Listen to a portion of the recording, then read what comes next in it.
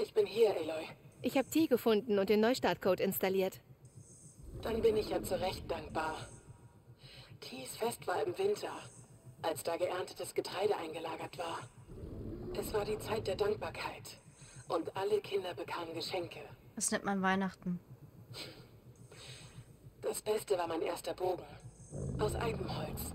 Bespannt von meinem Vater. Jedenfalls hat er dir beigebracht, gut zu schießen. Das hat er. Noch eine Sache. Ich habe zwei deiner Leute gefunden. Ein Sturmvogel hat sie erwischt. Und ich ihn. Oh. Ich sorge dafür, dass jemand ihre Samentaschen nimmt, damit sie in ihr Land zurückkehren. Also gut. Ich gehe nach Reinklang und bringe den Landgöttern dort den Code. Und damit herzlich willkommen zurück zu Horizon Forbidden West und dem Beagle. So, ich habe das Pausenmenü weggemacht und Aloy hat sich gedacht, yo, na so, ich hier, Himmelsgleiter, ne? wie kommt der Sturmvogel überhaupt dahin? Ich, ich stelle nur Fragen, ja? Und ich wollte es jetzt nicht unterbrechen, ich fand es aber schön, dass auch äh, die Utaro auf ihre Weise Weihnachten entdeckt haben. Leute, das war die Beschreibung par excellence von Weihnachten, ja? Nur beruhend auf den Landgöttern. Und nicht darauf, dass irgendein heiliges Kind auf die Welt gekommen ist. Oh Gott, Leute, die religiös sind, schlagen mich jetzt, weil der Bibel das gesagt hat, irgend so ein heiliges Kind. Ja, Leute, so bibelfest bin ich. Ich weiß, wer da zur Welt gekommen ist. Ob ich da mitgehe, ob das so unbefleckte Befängnis, äh, unbefleckte Empfängnis, nicht äh, Gefängnis war, äh, ist, ist eine andere Geschichte. Ich könnte den offiziellen Weg gehen und dem Wanderweg folgen, oder ich kletter weiter wie so, ein, so eine Bergziege hier durch und komme bestimmt auch ans Ziel. Da unten ist der äh, offizielle Weg. Ich würde aber eigentlich gerne meine Ressourcen ein bisschen aufbessern. Wobei ich glaube, im See brauche ich die gar nicht. Ein Vorrat für die Jagd. Ein Vorrat für die Jagd. Jedes Mal erzählt sie mir das Gleiche.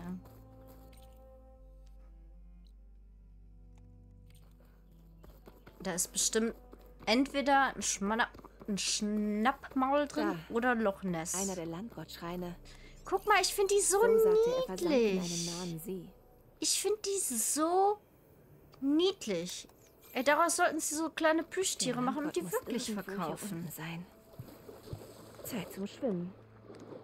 Zeit zum- Da seht ihr, da schwimmt doch schon wieder irgendwas. Was schwimmt denn da? Das ist eine wirklich gute... Ein Ich halte mich lieber von Schnappmaul. dem Schnappmaul fern. Kann ich den nicht an Land locken und ihn platt machen, damit ich meine Ruhe habe? Geht das? Warte mal. Ähm, womit lockt man Ich dich? kann die Maschine erst überbrücken, wenn ich in der richtigen Brutstätte war. Ja, das Thema ist gegessen, Aloy. Flup. Oh. Leute, es war close enough, ja? Close enough. Jetzt geht die weg, oder wie? Nee, sie weiß nicht so recht, was ich... Ah. Nah dran.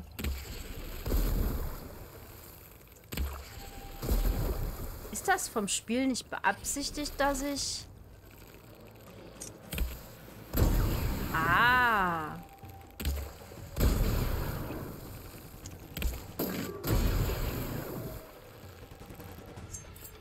Munition leer. Macht nichts. Wenn ich von einem genug habe, dann von all dem hier. Also irgendwie ist der sehr passiv-aggressiv. Kann, kann das ist? Ich will es nicht beschreien. Also wenn er passiv-aggressiv bleiben möchte, soll er passiv-aggressiv bleiben. Ist kein Thema für mich. Das tat ihm weh, ne? Yes.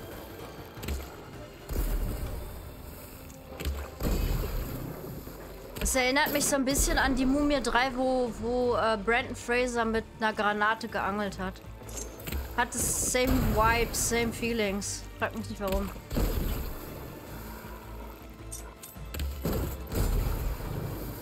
Ich möchte in Ruhe schwimmen gehen, du dummes Vieh. Ah, zack, boom.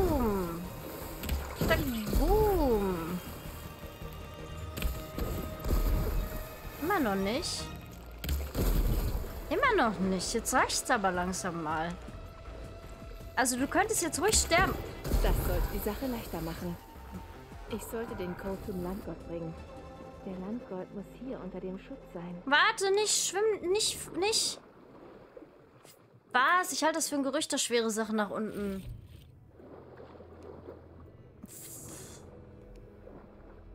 Geil wäre, wenn jetzt aus dem Nichts auf einmal ein zweiter Langhals auftauchen würde. Äh, ein zweiter äh, Schnappmaul auftaucht.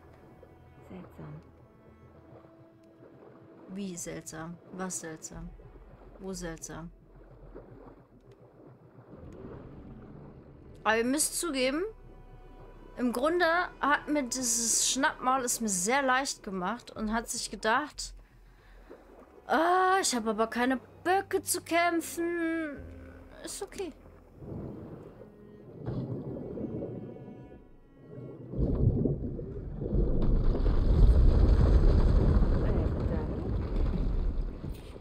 Das sollte dir auf die Beine helfen. Bitteschön. Das sollte reichen. Und wenn so die Aktivierungscodes dann macht, dann können die... Nein.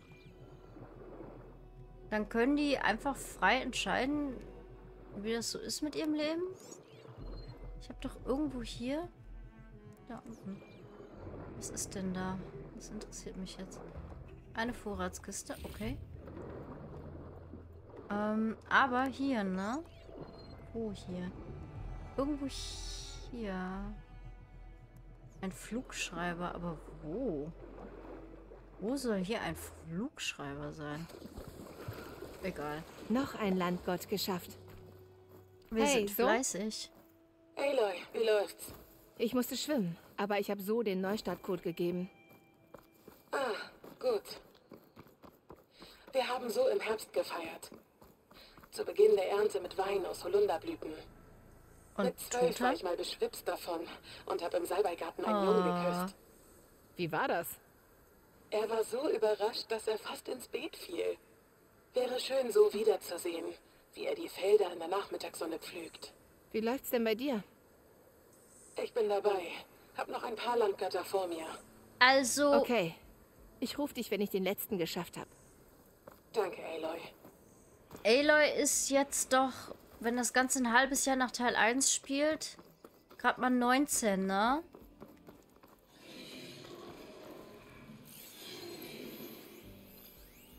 Das heißt, Wahl ist vielleicht auch schon deswegen nicht so. Die Maschine würde Säure einfach abschütteln. ach so. Nicht gut. Vielleicht ist Wahl ja auch deswegen für sie nie so recht in Frage gekommen, weil er älter ist als. als.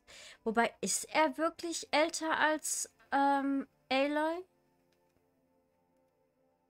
Ich weiß es zugegebenermaßen gar nicht. Was ist denn da?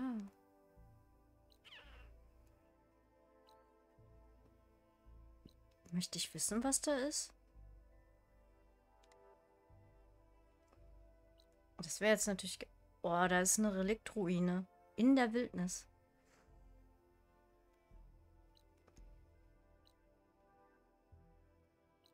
Ach komm, wir laufen dahin, ist okay. Aber ich möchte vorher. Hm, irgendwie habe ich das Gefühl, dass es Verschwendung von Ressourcen ist. Was? Was ist denn da unten? Ah, Grünglanz! Meins. Ihr habt gesehen, wie schnell man Grünglanz auch schon wieder ausgeben kann. Oder habt ihr das überhaupt gesehen? Habe ich das alleine gemacht? Also für irgendwas brauchte ich... Genau, um meinen Stachelwerfer äh, abzugraden, habe ich unfassbar viel Grünglanz. Jetzt gehe ich doch wieder zurück. Ach nee, sorry, aber dann nehme ich doch ein Schnellreisepaket. Jetzt würde mich aber interessieren, was genau da unten bei dem Fragezeichen ist. Hm, ich... Genau da. Zack. Aua. Oh, an diese Stelle erinnere ich mich noch. Das ist Reserve für später. Das ist Reserve für später. Diese Aussichtspunkte, ne? Ich bin mir sehr sicher, dass man dafür eine Trophäe kriegt, aber das ist ein Abfuck pur, die zu machen. Weil man muss wirklich auf den Millimeter genau stehen. Und sonst nimmt einfach die Scheiße sich nicht an. Ein Bild der alten Welt. Ja, I don't care. Das sieht ein bisschen nach Reinklang aus. Und da ist eine Art Metallgebilde. Grünglanz. Cool.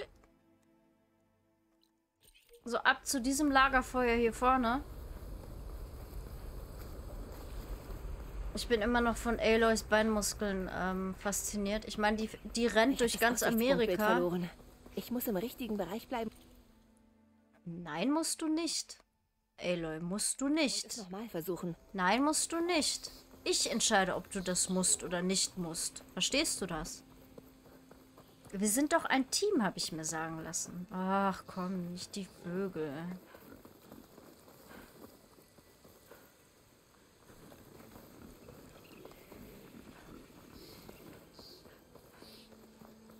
Welche Vögel sind denn das überhaupt? Himmelsschreiter. Oh nein. Die werden auf mich aufmerksam werden, wenn ich hier so mitten durchs Feld grase, renne, fliehe, laufe. Oder ist Aloy schnell genug? Maybe. Oder sie ist schnell genug. Also es ist auch okay. So, was haben wir denn hier für eine Ruine? der alten Welt. Vielleicht die, von der die Utaro in Reinklang erzählt hat. Hm, Mal sehen, ob es drin etwas Nützliches gibt. wenn ich schon hier bin. Ich weiß sogar, wie das geht. Ich habe das noch so grob in Erinnerung. Was ist hier drin? Eine alte Lore. Hm. Ob sie sich noch bewegen lässt? Ja, aber ich muss erstmal. Warte mal.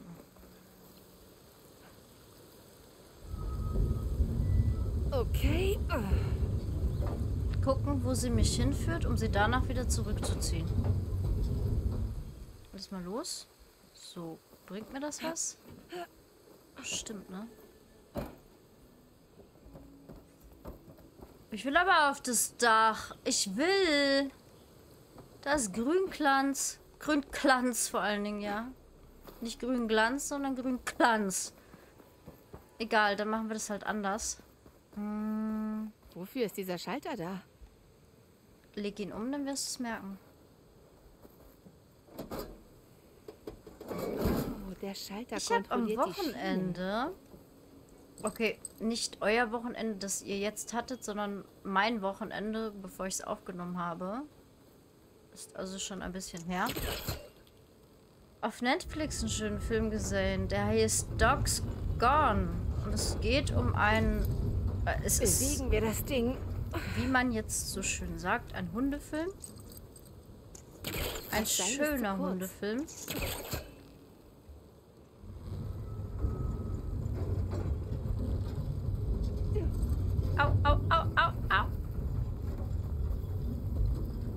Muss ich das jetzt nochmal? Warte mal.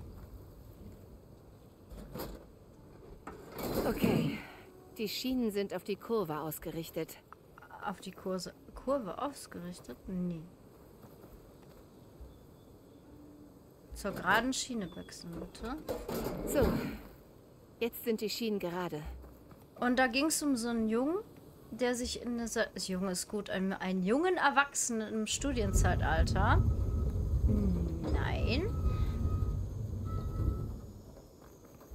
Gerade was vom geraden Weg gesagt. Auf die Schienen mit Kurve. Das Ding muss hier rüber. Wollt ihr mich trollen? Weiter geht's nicht. Und das ist mir auch egal, aber ich will geradeaus und nicht... Probieren wir nochmal die geraden Schienen. Ich will ja auf die gerade Schiene, Aloy. Ich möchte auf die gerade Schiene. Wenn ich jetzt nochmal in diese fucking Kurve gehe. Ah nein, jetzt hat's, ich war nur nicht weit genug nach hinten. Und er hat sich einen ähm, Hund gekauft und ihm tatsächlich den lächerlichen Namen Gongo gegeben. Wie Gong und Go. Und ähm, die haben dann so ihr Studium zusammen gemeistert. Reicht das schon? Oder? Nein, nicht ganz. Mit dem Hund. Der Hund war der Star natürlich. Selbstredend, wer kennt's nicht? So. Und er hat im Leben nichts geschissen gekriegt. Also er wusste nach dem Studium schlicht, Raum was er... irgendein Relikt. Falsch. Aber wie kommt man da rein? Das war jetzt gemein gesagt, er hat nichts geschissen gekriegt. Er hat einfach nach seinem Studium wusste er nicht genau, was er eigentlich machen möchte. Während all seine Freunde eben schon genau wussten, hm. was sie machen Ein wollten. Ein Schlüsselmodul. Es endete dann darin, dass er nach seinem Studium leider Gottes eben wieder nach Hause gehen musste. Und da war ziemlich viel Kritik mit, also ich fand es sehr schön, dass da ziemlich viel Kritik mit drin war, dass Eltern manchmal einfach scheiße sind. Äh, weil der Vater immer wieder Spitzen ge gebracht hat, von wegen, ja, um deinen Hund zu versorgen, bräuchtest du halt schon auch Essen und äh, musstest du halt schon Geld verdienen und so. Und überhaupt, ne? Und naja, auf jeden Fall Gesellschaftskritik, ne? Seid nicht zu so kritisch mit euren Kindern, selbst wenn sie noch nicht wissen, wohin die Reise geht. Irgendwann werden sie ihren Weg finden. Und meistens ist man dann überrascht, wie gut der Weg funktioniert. Je mehr Druck man aufbaut, umso eher werden sie den Weg nicht finden. Das ist übrigens Fakt. Könnte nützlich sein. Könnte nützlich sein, ja.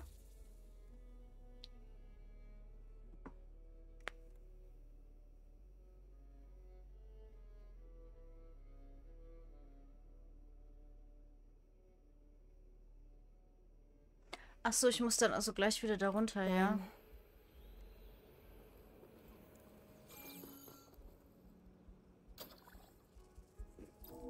Ich muss ernsthaft wieder darunter. Dann mal los. Nee, ich muss den Code erst haben. Dafür muss ich wohl erst hier runter. So, wo steht's denn?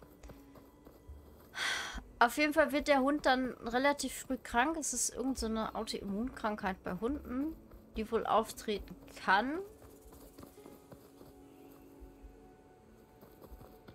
Und er braucht jeden Monat eine Spritze dafür.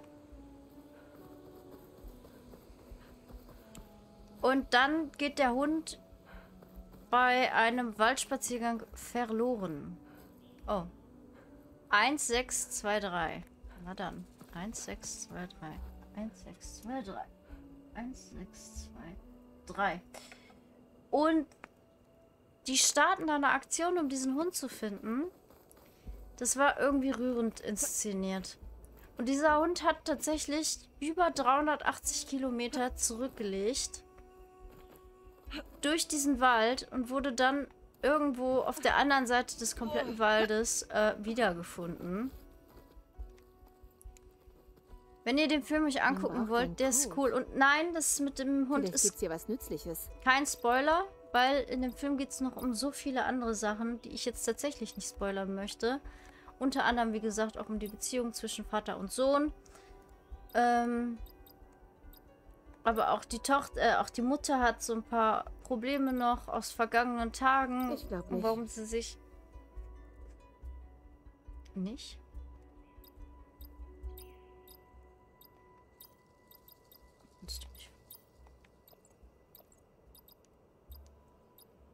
Aber ihr habt das doch auch genauso gesehen wie ich. Nein. Wie nein? Aloy, verarsch mich nicht. Das war 1,6.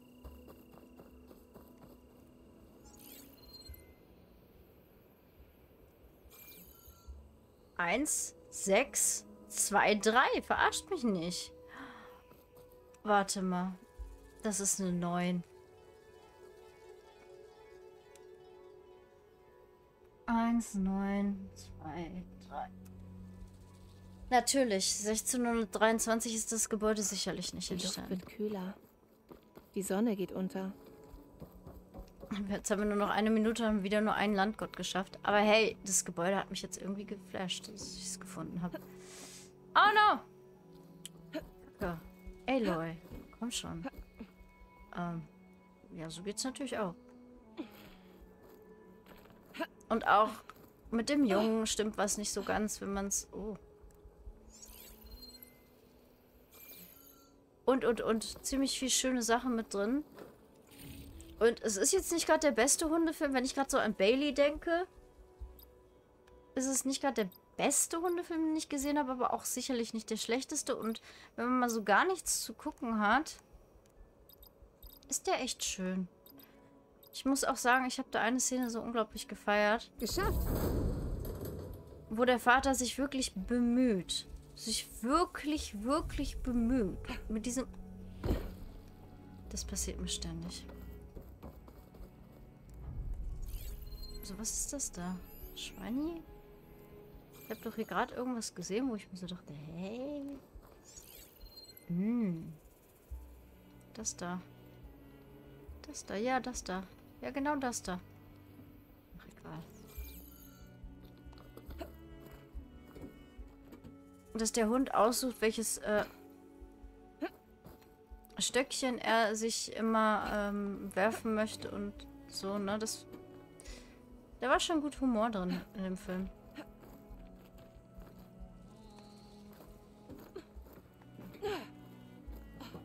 So, also nochmal. Ich weiß nicht, warum ich unfähig bin.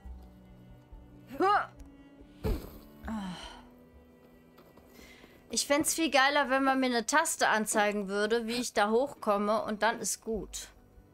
Aber nein. Ich kann mich entsinnen, dass ich da nämlich heftig Probleme gehabt habe letztes Mal.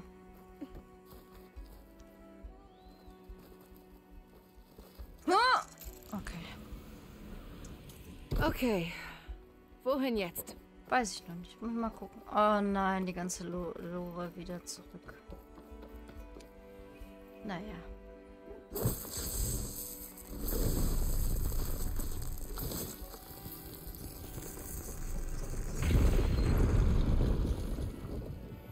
Irgendein Relikt ist da drin. Aber wie komme ich ran?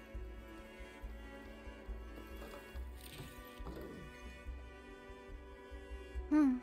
Wirklich eine gute Frage. Wobei so gut ist die Frage jetzt auch nicht.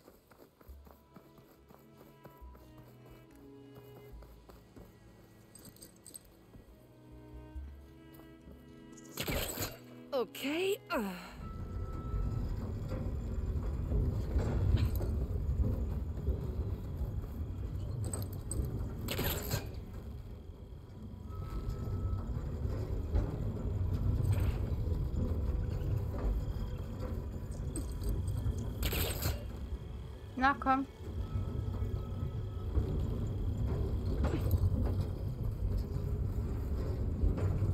So weiter geht das ja nicht.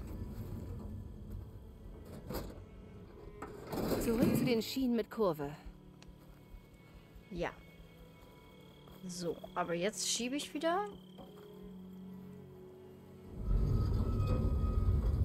Dann haben wir schon zwei Ornamente. Und das, obwohl ich noch nicht mal abgewartet habe, ob ihr das überhaupt sehen wollt. Aber wenn ich schon dran vorbeikomme, möchte ich das schon auch irgendwie machen, wenn ich ehrlich bin.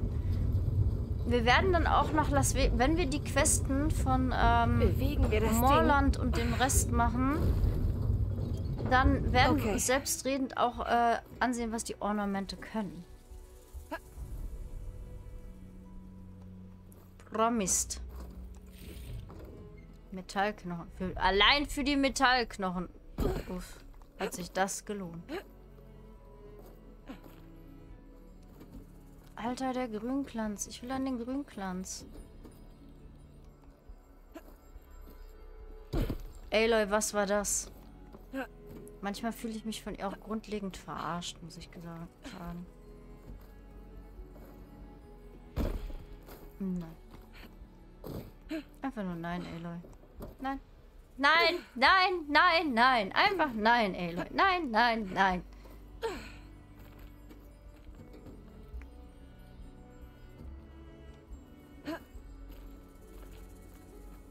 Das Ding muss hier rüber. Geschafft. Ornament. Okay, ich habe das Relikt. Hier sind Daten. Das Ding könnte aus Las Vegas stammen. Vielleicht werde ich schlauer, wenn ich dorthin zurückgehe. Aber nur ganz vielleicht. Was passiert eigentlich, wenn ich hier rüber... Nichts passiert dann. Wie komme ich denn nach da oben? Leute, ich will da hoch. Zum Grünglanz.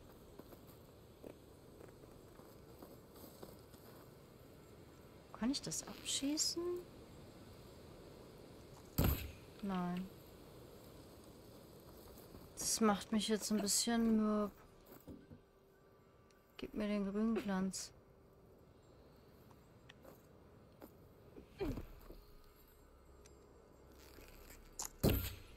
Das geht auch nicht. Gib mir den grünen. Gib den mir. Kann ich aus der Decke raus oder irgendwie sowas? Ach komm, ist mir doch egal. Wir sehen uns in der nächsten Folge wieder und dann werden wir da hinten den letzten Landgott ähm, befreien. Ich wünsche euch einen wunderschönen guten Tag und haut rein.